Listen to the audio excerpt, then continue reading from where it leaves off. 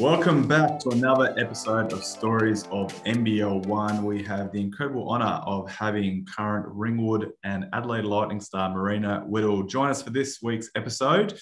Um, Marena, first off the bat, obviously, uh, I know it's been a very interesting time with a, an, an, earthquake in Melbourne. Um, so I need to ask you, are you okay? I'm safe over here, mate. Didn't really feel it until I got onto the phone and had everyone calling me, checking if I was okay. But yeah, I just thought it was a train that went past extra loud. And then, um, yeah, looked at the news. People have fallen over, stumbling a little bit too much. We're okay. I'm fine. Yeah. That, that, that iconic Chapel Street sort of footage, it was like, I mean, I, I, did have to have a, not laugh in it, and that sounds wrong, but I was like, you know, there's, earthquake seemed like a little bit and it was just like a few bricks and it was like world was coming to an end. So it's been a very oh. interesting 48 hours in, in, in the state of victoria. Oh it definitely has. My favorite part is that there was a news reporter live on the scene. Um, i think yeah i'm getting reports. The bricks took out a bench on the sidewalk. Yeah but we will rebuild. Love it. Off that I mean, how has it been? I mean, I'm unfortunate with the the season not ending the way that we, I guess, all were anticipating or wanting. I mean, how did you feel like you at least got something out of the season? Um, I mean, how, reflecting upon that now, a few weeks, how how's that been for yourself?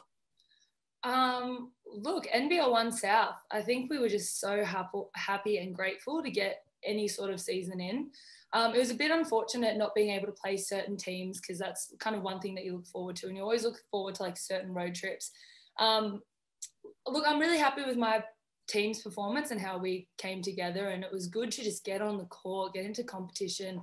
Coming off WNBL and only playing basketball for two months of 2020, and then hoping to maybe get a season in NBL One South. Um, I'm really, really happy that we actually were able to play. It was pretty disappointing that we weren't able to finish it um, because you know when pieces start to come together at the right time. And personally, Ringwood, we were starting to look really, really good there leading into finals, um, and we were really just chipping away. And I think most teams were starting to really come together at the right time. And then, you know, we got hit by lockdown, COVID's hit again, and got to stay safe really at the end of the day. Unfortunate, but yeah, we got to take care of people's health.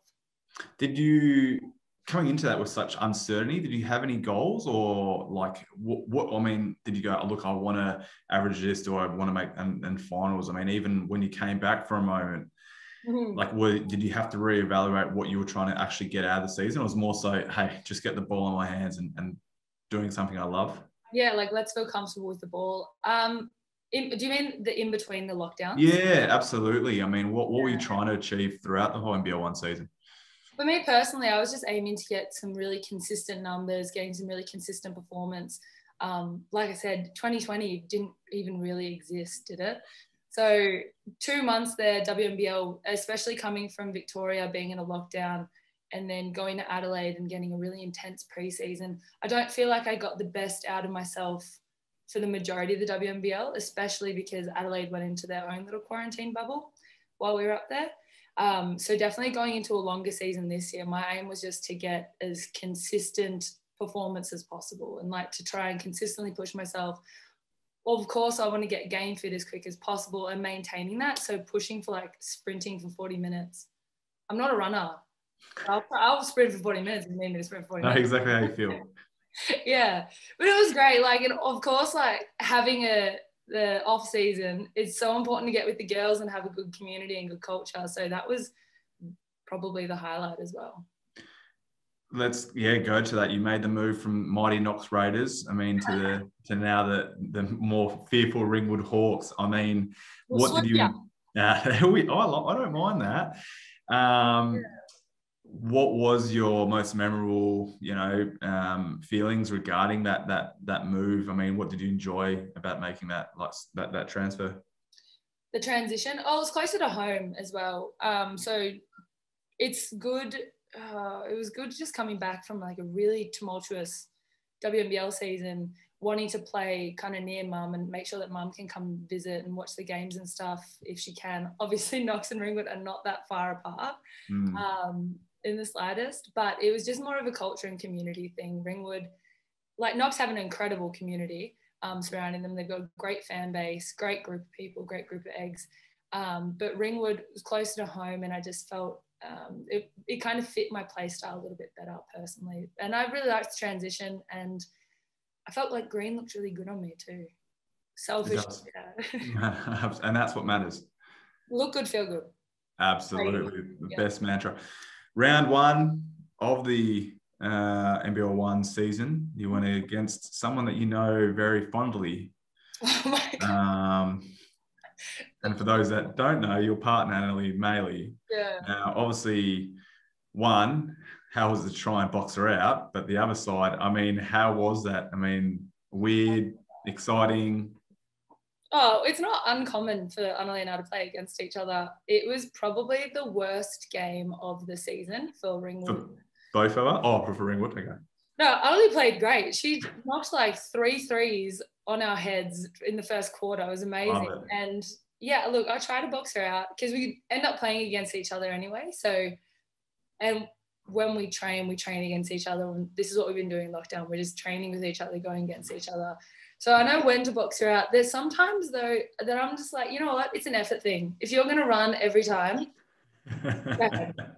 and then I'm got my team's like, guys, just box her out. It's very hard. yeah, easier said than done. Oh, absolutely, absolutely. Yeah, yeah just box outs is an effort thing, and um, yeah, and running to rebounds is an effort thing. So it's really like on the day who wants it more. So do, do unfortunately, you, Eltham wanted it more that day.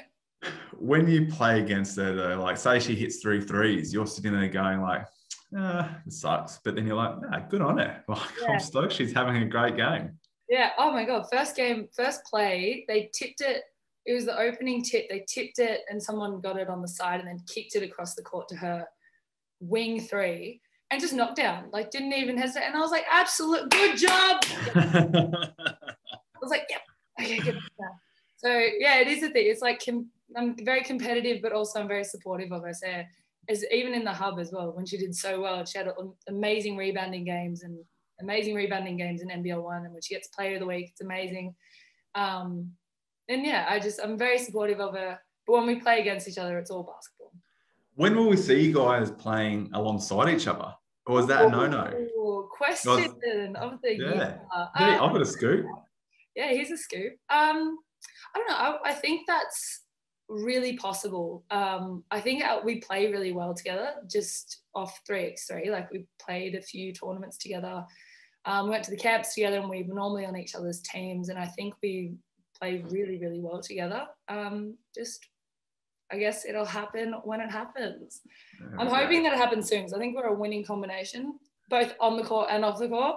Um, for, any, for any WNBL coaches listening, please, there you go. Let us know. Right. Now, yeah. speaking of WNBL, you, you, spoke, it was a weird old season uh, last year, being in the hub and shortened season and in, uh, you know, interrupted throughout. I mean, are you feeling like that's going to obviously help in the process of what this might look like? We still really don't know, but I mean, expectations show there's going to be some sort of bubble at some point. Um, hopefully not, but I mean, how are you approaching this? I know you're, you're obviously staying in good nick and, and trying to prepare, but more so, um, and you're a, a huge mental health advocate. How are you preparing yourself for what could be, yeah, a lot of disruption again for the um, WNBL season? Yeah, look, I think I took a lot away from last year. I think um, kind of getting swept up in the excitement of it all, but also there was kind of a rushed pace, especially for Adelaide. Um, we got up there, we played three games in Mackay or two games in Mackay, and then we went down to Townsville. And as soon as we landed, we had to go into quarantine for 10 days or seven days. And so, like every other day, we played a game. So, within that, I didn't seem to find myself much time to, I wasn't taking care of my mental health. Um, and I think that that could have been across the board. And being in such an intense hub season, it's so important to take care of yourself, whether that's like five minutes to go get a coffee by yourself, make some calls to home.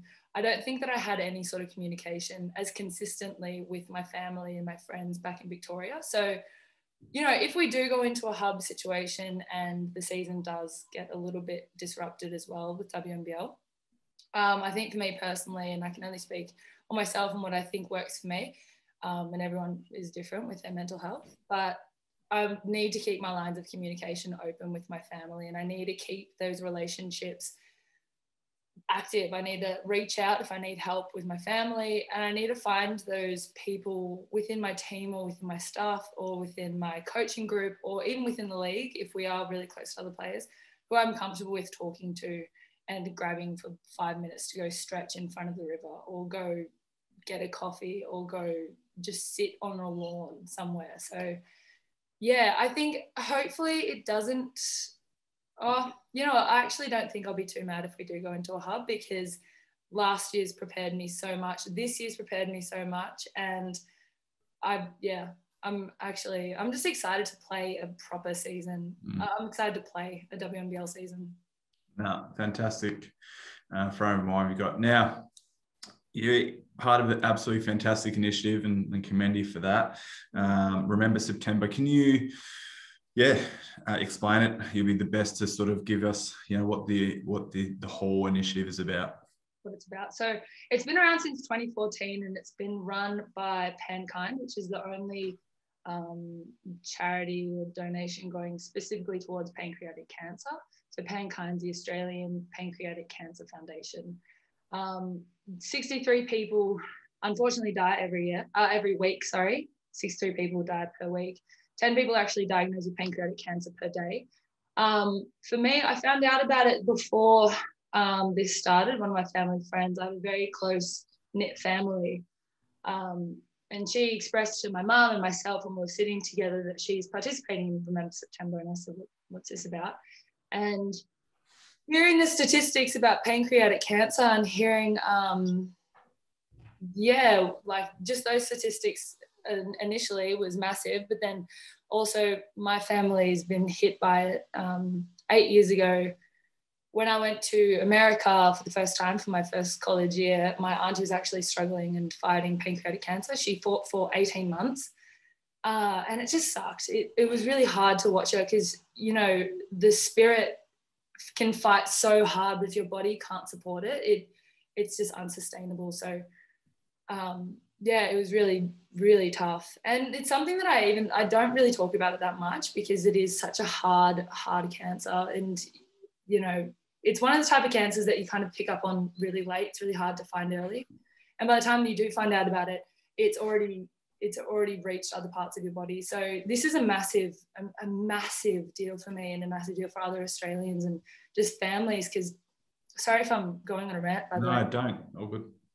But you know, Pankind, they just the aim is just to make sure that people are aware of it, to get early detection testing happening, make sure that, um, sorry, and making sure that they can positively impact families and people who are affected by pancreatic cancer. No, thanks for sharing, mate. It's it's incredible. With that, so the aim is to walk or run 63 Ks throughout the month of September, which is obviously, you know, we're three weeks into it. I mean, what are you hoping to achieve? You know, obviously we speak about that. You're going to do that. Is it, is fundraising is obviously the primary issue. Are you hoping to, um, to continue advocating the importance long term to, to highlight the importance or early detection, which obviously you just said it's difficult. Mm. I mean, what are you trying to um, personally um, I guess, elevate um, this this unbelievable initiative? Well, personally, I would love to start advocating for it more. This was a bit of a hit for me. Um, I don't, I've never really talked about it. It's always been really hard, and it's eight years on since my um, auntie passed. But being able to start the conversation, make people aware that this is such, it's the third biggest cancer in Australia. It's the third biggest wow. killer in Australia. So being able to start that conversation and, you know, wherever I end up next, is making sure that I can build these relationships within the community and making sure that we can get people aware of what it might look like, getting people into early, like detective, uh, early detection testing and, you know, just starting that conversation. If you're not aware of it, it's not even on your, um, mind at all, why would you even consider that it might be an issue? Um, and then on top of that, I'd love to continue fundraising, you know, getting as much money into it as possible, getting as much money into research and as much money to families that are in desperate need of help is very no, fantastic. Now, and, and and say if it's not if you're not comfortable in sharing at all, but you're obviously in America for a significant part of time whilst your family member was sick, and you spoke about those emo- emotions. Um, how tough it was. On the flip side, you were able to come home and um, you know, just, can you speak about how grateful you were to, to be able to share those moments um, in those yeah in that low, sort of those last moments? Yeah. So um, a little bit of context is you know your first year of college you always FaceTime on Zoom uh Skype back in the day. So I'd always Skype at home. Where's Skype now? It's just that's a uh, great question. Right. So I'd always Skype home, and um, I guess uh, I think personally, I think people were trying to protect me from knowing what how bad the situation was. Um, and I left in August, and you know, every month the Skypes got a little bit longer, and then it got to January, and my auntie had really deteriorated. She was really skinny. Um, Mm, couldn't really talk much. So I got the call from mum in March that it's time to come home. And you, you know, my my conference tournament was in March as well. So I spoke to my coaches, and as soon as my conf- as soon as my team was done, jumped on a plane the next day. Got home on the Wednesday and saw my auntie on the Wednesday night. Had dinner with her, and then she was back in hospital on Friday, and unfortunately on unfortunately passed on the Saturday or Sunday. So yeah, it was really, really tough to be there. But and I eventually stayed for a few more like for a few more weeks afterwards just with my family. Ooh, oh, I was ah, such amazing mate. Yeah, but getting home and seeing her and, and being able to share that time with her, as little as it was, it was, yeah, I can't put words to it. It was so, I'm so grateful for it. I'm perfect timing. I have the, I had have this saying. My God, I'm stuttering so bad. Um, I have this saying that I think she was actually waiting to see me. That's incredible. Um, yeah, the human body is amazing. The human spirit's amazing. So, yeah, I was really lucky and I was really fortunate to be able to get home when I did. And that's a credit to my mum, to my auntie, to my cousins, everyone. Oh, and everyone kept it a secret too. So as I walked in the door, my cousin saw me. She's like, "What? Marena, what, what are you doing? And then I saw my auntie and she didn't actually recognize me at first. She was like, oh my God. So yeah, it was huge. And yeah, I'm forever grateful for it. No, thanks for sharing that story. As, as difficult as that that may have been, but no, I really appreciate it, mate. With that, I mean, how can we help? How, you know, obviously social media posts, I mean, ourselves, I mean, and, and we'll put up um, a few links um, throughout this too. But I mean, if there is something, how can we help? Yeah, absolutely. So get on to Remember September. Of course, that's just like a one month in September sort of foundation fundraiser event. Um, but if everyone can get onto Pankind, um, obviously do your own research, uh, book a test, make sure that you, you know, if you're feeling a little bit funky, you're also checking on your pancreas. Um, but if you have any donations and there's any way that you know teams, clubs, organizations can link up with these great um, charities and these great foundations, please consider Pankind. Fantastic, appreciate it. Now I want to finish on uh, um, this last one, and we we it's it's pretty obvious how passionate you are, and um, you love to give back. Um, and you know for so I, love your honesty you know as, as, as much as people um you know they'll query it or whatever it may be and and that's just the world. I love that you you are you wear your heart on your sleeve and um yeah it, it's it's really strong.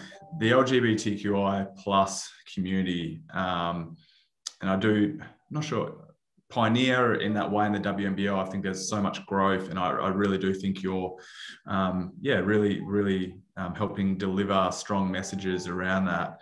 Um, so again, I, I, commend you on that. I mean, how inclusive has become as Buckle, even maybe I'm answering that for you. Are you seeing it becoming more inclusive? What can be done in that space? Um, what growth, what can be done. I mean, if there's some re- some real strong messages regarding that, um, how you seeing? How has this, you know, sort of um, the significant sort of topic um, benefiting your life? Yeah, so there's so much there. Honestly, I can see it changing, even from when I first entered the league um, to now. And Adelaide does an incredible job as well. They have their own Pride round, um, and I talked with Lauren Jackson and um, Paul Maley and Mark Quinn and um, sorry other BA members to yeah. discuss how we can get a Pride round happening within WNBL. And I think I would hope that in the next few years we can get this happening.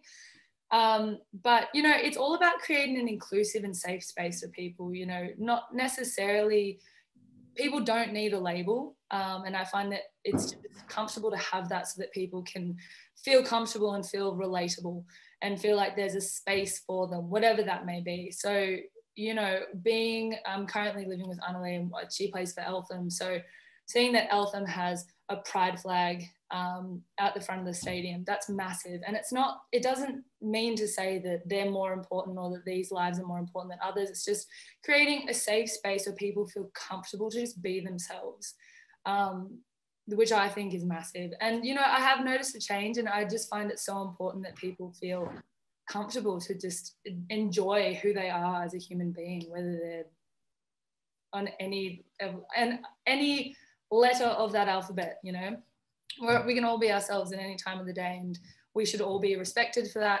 We should all be treated equally. We should all you know be given our human rights regardless. So yeah i love it. I love where the world's going. I love where basketball is going especially and i feel like we're just um, picking it up and taking it with us wherever we go I don't think we can dismiss the simple notion of a flag because I think it is the importance, right? Like when, unfortunately, um, racism, bullying, prejudice, discrimination still happens on a daily basis. I think something as small as that, which reassures uh, reassures people that this community is inclusive, it's welcoming, um, and sometimes we are still.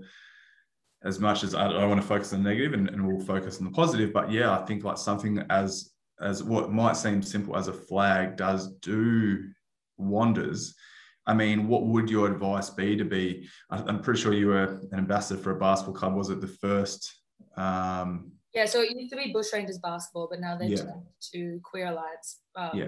Holding Alliance Group. Yeah, yeah, awesome. But I mean, what what would be your word of advice for either a club on how they can make their club more inclusive. Mm. Um, and it obviously starts from the top, but you know, if there was a club, even from a, a, junior sport, you know, grassroots domestic club, to then the other aspect, an individual that may be a bit more apprehensive about taking up basketball, what those both sides, how would they go about that?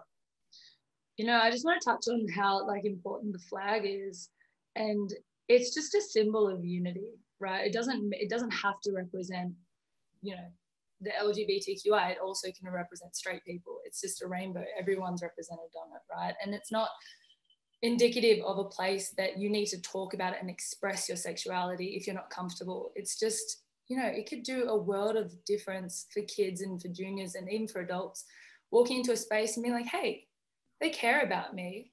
I mm-hmm. don't really have to talk about it with anyone, but just knowing that I can be here and I'm comfortable and people care and it's okay. So that's massive and just awesome. Um, so I would say, you know, it's not a big deal to make a statement or to, for clubs, for example, or for organizations um, and for people to just let it be known that this is a safe space. And especially with what's going on in the world, safe spaces are very seemingly hard to come by. So if you're not this, uh, unfortunately, you're that and if we can just make mm-hmm. sure that everyone's you know sending the positive right message of we are a safe space we do welcome whoever walks through the door and you will be greeted with open arms i think that's just going to help us lead to change some really positive change whether it be in the lgbtqi space or whether it be in any other space whether it be race religion types of people abilities sexuality it can be anything it just safe spaces is really the focal point of what my is really my focal point. No, perfectly said, mate. Mate, um, really want to appreciate your time and more so your vulnerability. Um, as tough as yeah. it is, you articulate it so well in, in terms of sharing your um, your stories and passion for those um, people as well. Please look up, remember September, um, and please follow um, Marena on her Instagram in terms to see her endeavors in that regard. But um, on behalf of all the guys at the NBL One here, we will also want to thank you, Marena, and wish you the best of luck for this upcoming uh, WNBL season and then your next year. Have you signed on for Ringwood or is that an ongoing thing? Can we get you some more money? I'm leaving it in the dark. Who knows? Uh, love it. For everyone else, please tune into uh, to tune into the next episode and listen to all on your favorite uh, streaming services, Apple, Spotify, or watch on YouTube. And everyone else, take care and thank you again, Marena. Thanks, Greg. Have a good one.